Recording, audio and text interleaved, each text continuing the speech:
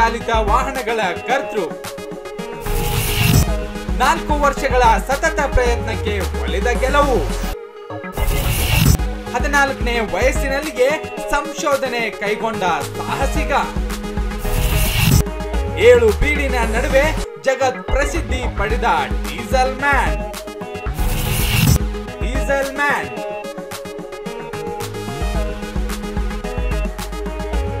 Design man. ವಿಶೇಷ ಕಾರ್ಯಕ್ರಮಕ್ಕೆ ಸ್ವಾಗತ ನಾನು ಅಕ್ಷಯ್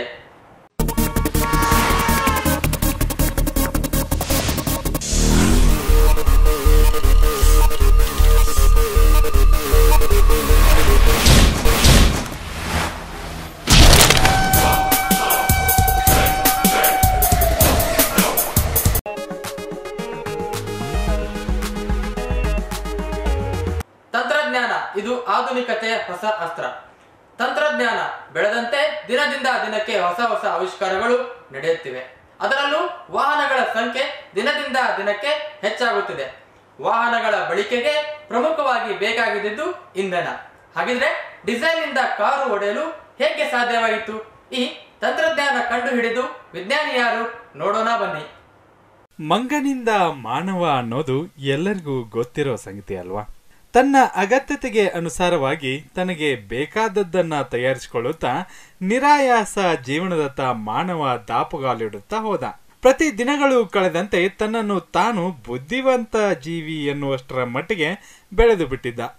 ಶಿಕ್ಷಣ ಹಾಗೂ ದೂರದೃಷ್ಟಿಯ ನಿಖರತೆಯಲ್ಲಿ ಒಂದು ಸ್ಥಳದಿಂದ ಇನ್ನೊಂದು ಸ್ಥಳಕ್ಕೆ ಹೋಗಲು ವಾಹನಗಳ ಬಳಕೆ ಮಾಡತೊಡಗಿದ. ಆದರೆ ಆ ವಾಹನಕ್ಕೆ ಡೀಸೆಲ್ ಈಗ ಪ್ರಮುಖವಾಗಿ ಬೇಕಾಗಿತ್ತು. ಹಾಗಿದ್ರೆ ಅದನ್ನ ಕಂಡುಹಿಡಿದವರು ಯಾರು? ಅವರೇ ನಮ್ಮ ರುಡಾಲ್ಫ್ ಕ್ರಿಶ್ಚಿಯನ್ ಕಾರ್ಲ್ ಡೀಸೈಲ್ ಅಂತ.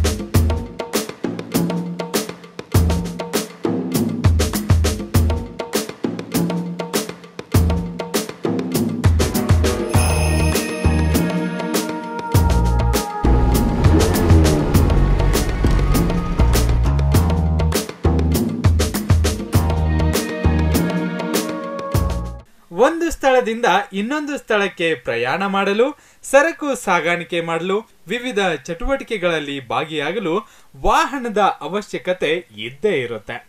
ಅದನ್ನ ಅರಿತಂತಹ ಕಾರ್ಲ್ ಕಡಿಮೆ ಖರ್ಚಿನಲ್ಲಿ ವಾಹನದ ಪ್ರಯಾಣವಾಗಬೇಕು ಎನ್ನುವ ದೃಷ್ಟಿಯಿಂದ ಡೀಸೆಲ್ ಇಂಜಿನ್ ಅನ್ನ ಕಂಡುಹಿಡಿದ್ರು. ಆತನ ಮುಂದಾಲೋಚನೆ ಮುಂದೆ ಜಗತ್ತಿನ ಪ್ರತಿಯೊಬ್ಬ ನಾಗರಿಕನಿಗೂ ಸಹಾಯವಾಯಿತು. ಈಗ ನಾವು ನೋಡುವಂತಹ ಸಾಕಷ್ಟು ವಾಹನಗಳು ಡೀಸೆಲ್ ಇಂಜಿನ್ನಿಂದಲೇ ಕೂಡಿವೆ.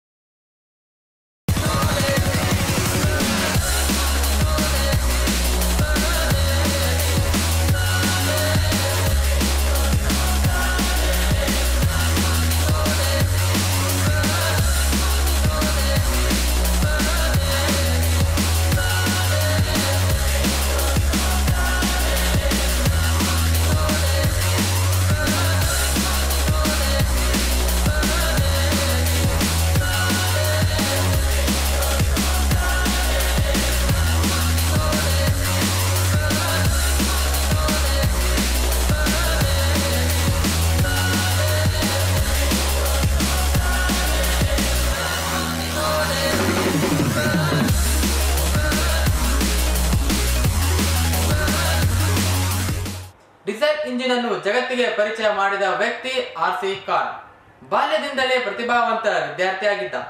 ಈತ ಮುಂದೆ ಜಗತ್ತೇ ಮೆಚ್ಚುವಂತೆ ಸಾಧನೆ ಮಾಡಿದ್ದ. ತನ್ನ ಪರಿಶ್ರಮದಿಂದ ಡಿಸೈನ್ ಇಂಜಿನ್ ಕಂಡುಹಿಡಿದು ಪ್ರಯಾಣಕ್ಕೆ ಸಾಕಷ್ಟು ಸಹಾಯವಾಗುವಂತೆ ಮಾಡಿದ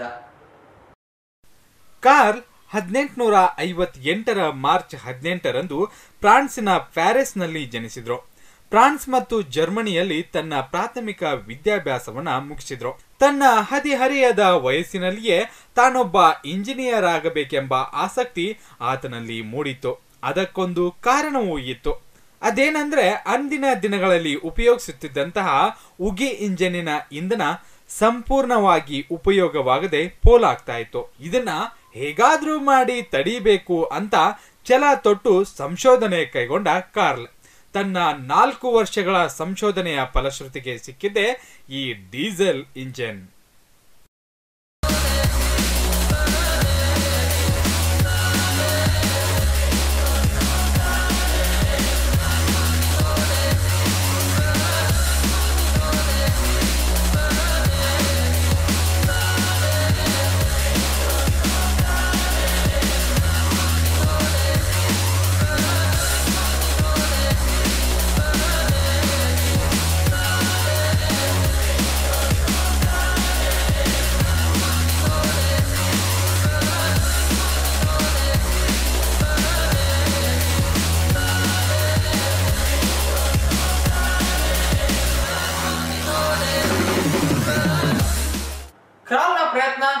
ಪದೇ ಪದೇ ನಡೆದಿತ್ತು.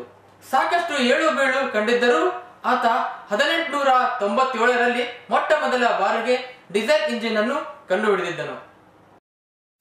ಮಂಜುಗಡ್ಡೆಯನ್ನ ತಯಾರಿಸುವ ಕಾರ್ಖಾನೆಯಲ್ಲಿ ಸಂಕೋಚವೊಂದರ ಉಷ್ಣತೆ ಇರುವುದನ್ನ ಡೀಸೆಲ್ ಒಂದು ದಿನ ಗಮನಿಸಿದ. ಅಂದು ಕಾರ್ ಸಂಕೋಚವೊಂದರಿಂದ ಉತ್ಪಾದಿಸಿದ ಉಷ್ಣದಿಂದ ಎಂಜಿನಿನ ಇಂಧನವನ್ನ ವಿದ್ಯುತ್ತಿನ ಕಿಡಿ ಇಲ್ಲದೆಯೇ ಉರಿಸಬಹುದೆಂದು ತಿಳಿದುಕೊಂಡಿದ್ದ. ಆದ್ರೆ ಇದು ತಾತ್ವಿಕವಾಗಿ ಸರಿ ಅಂತ ಅನಿಸಿದ್ರೂ ಅದು ಪ್ರಾಯೋಗಿಕವಾಗಿ ಎಂಜಿನ್ ಕೆಲಸ ಮಾಡೋದಿಲ್ಲ ಎಂಬುದನ್ನು ಆತ ಅರಿತುಕೊಂಡಿದ್ದ. ಸಾಕಷ್ಟು ಏಳು ಬೀಳಿನ ನಂತರ ಮತ್ತೊಂದು ಪ್ರಯತ್ನದಲ್ಲಿ ತನ್ನನ್ನ ತಾನು ತಯಾರಿಸಿಕೊಂಡ. ಎಂಜಿನ್ನಲ್ಲಿ ಕಲ್ಲಿದ್ದಲು ಪುಡಿಯನ್ನು ಉಪಯೋಗಿಸಿ ಪ್ರಯೋಗ ನಡೆಸಿದ. ಆದರೆ ಅದೂ ಕೂಡ ವಿಫಲವಾಗಿ ಇಂಜಿನ್ನೇ ಸ್ಫೋಟವಾಗಿತ್ತು. ಇಲ್ಲಿ ವಿದ್ಯುತ್ ಕಡಿ ಇಲ್ಲದೆಯೇ ಸ್ಫೋಟಗೊಳಿಸಬಹುದು ಅಂತ ಅದನ್ನ ಅರಿತುಕೊಂಡು ಅದನ್ನೇ ತನ್ನ ಸಂಶೋಧನೆಯ ಮುಂದಿನ ದಾರಿ ಮಾಡಿಕೊಂಡ.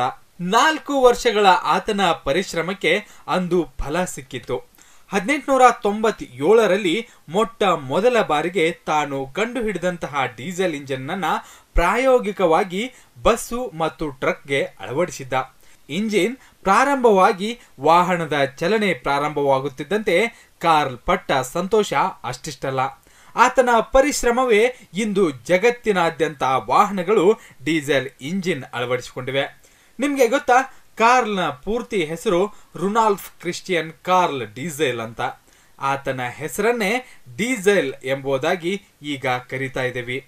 ಇಂಧನವನ್ನ ಕೂಡ ನಾವು ಡೀಸೆಲ್ ಹೆಸರಿನಿಂದಲೇ ಕರಿತೀವಿ.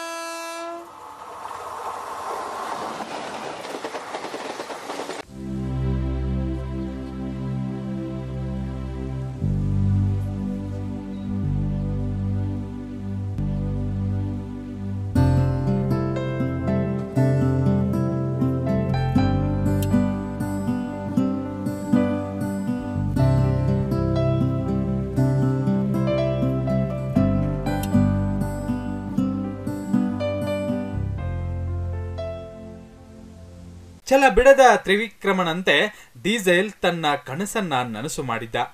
ಕೈಗಾರಿಕೋದ್ಯಮದ ಪ್ರೆಡಿಕ್ಟ್ ಕ್ರೂಪರ್ ಸಹಾಯದಿಂದ ಕಲ್ಲಿದ್ದಲಿನ ಪುಡಿ ತೈಲವನ್ನ ಮತ್ತು ಪ್ರಬಲ ಲೋಹಗಳಿಂದ ಬಳಸಿ ಎಂಜಿನ್ ಅನ್ನ ತಯಾರಿಸಿ ಜಗತ್ ಪ್ರಸಿದ್ಧಿ ಪಡೆದಿದ್ದ. ಆದರೆ ಹತ್ತೊಂಬತ್ ನೂರ ಹದಿಮೂರು ಸೆಪ್ಟೆಂಬರ್ ಇಪ್ಪತ್ತೊಂಬತ್ತರಂದು ಬ್ರಿಟಿಷ್ ನೌಕಾ ಆಡಳಿತದ ಆಹ್ವಾನದ ಮೇರೆಗೆ ಕಾರ್ಯಕ್ರಮಕ್ಕೆ ಹೋಗುತ್ತಿದ್ದಾಗ ಹಡಗು ದಾಟುವಾಗ ಕಾಲು ಜಾರಿ ನೀರಿಗೆ ಬಿದ್ದು ದುರಂತ ಸಾವು ಕಂಡಿದ್ದ ಡೀಸೆಲ್. ಪ್ರತಿಯೊಂದು ಆವಿಷ್ಕಾರದ ಹಿಂದೆ ಒಬ್ಬ ಸಂಶೋಧಕನ ಶ್ರಮ ಇದ್ದೇ ಇರುತ್ತೆ. ಇದೇ ಇವತ್ತಿನ ವಿಶೇಷ ಡೀಸೆಲ್ ಮ್ಯಾನ್. ನಮಸ್ಕಾರ.